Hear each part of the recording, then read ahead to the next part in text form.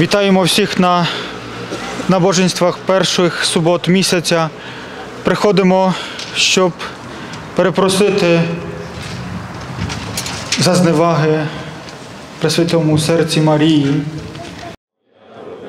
3 czerwca, w pierwszą sobotę miesiąca na dziedzińcu kurii metropolitalnej o godzinie 19 rozpoczęła się modlitwa do Matki Bożej o pokój w Ukrainie. Uroczystej mszy świętej przewodniczył ksiądz Grzegorz Draus wraz z rektorem Wyższego Seminarium Duchownego księdzem Piotrem Brzeskim, przełożonym lwowskiej wspólnoty dominikanów ojcem Igorem Gniusem i księżmi z parafii lwowskich. Tym razem liturgię i rozważania różańcowe przygotowała parafia świętego Jana Pawła II w Lwowie. Po mszy świętej wszyscy obecni odmówili różaniec przed wystawionymi darami, wypraszając dar pokoju i zwycięstwa w Ukrainie. Na koniec wierni udali się w procesji przed kościół Matki Bożej Gromnicznej, niestety wciąż zamknięty dla rzymokatolików. Ze względu na stan wojenny, tradycyjna procesja różańcowa ulicami miasta, która odbyła się w Lwowie od maja do października, wciąż nie została wznowiona.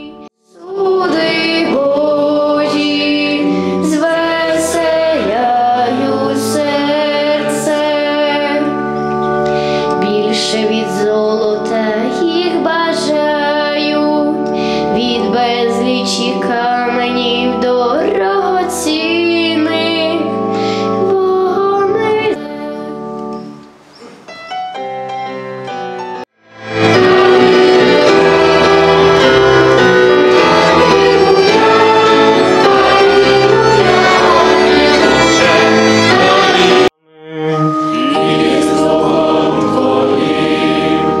Читання Святого Євангелія від Марка.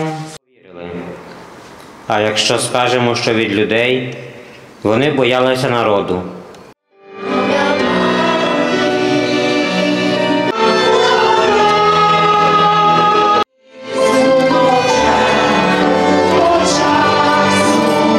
Samochutniej Boże, poglaj na modlitwy i dary Twoich wiernych.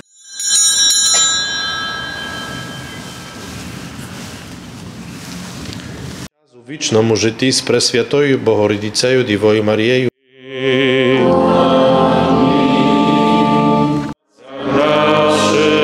Nadzieję i przeszestia naszego Spasitela Jezusa Chrysta. Nie zważaj na nasze grzechy, ale na wielu swojej cerkwy.